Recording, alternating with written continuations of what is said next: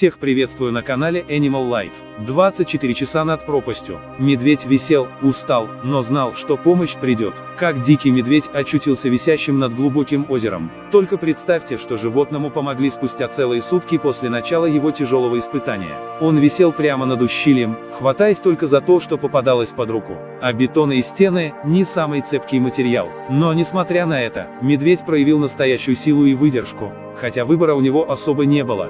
К счастью, спустя сутки животное все же заметили и выдвинулись с командой, надеясь, что успеют спасти медведя. Вероятно, он оказался в смертельной ловушке, когда волей случая забрел на мост по дороге, а потом его напугало движение шумных машин, он зацепился за ограду и в мгновение оказался с обратной стороны моста, откуда не было безопасного выхода.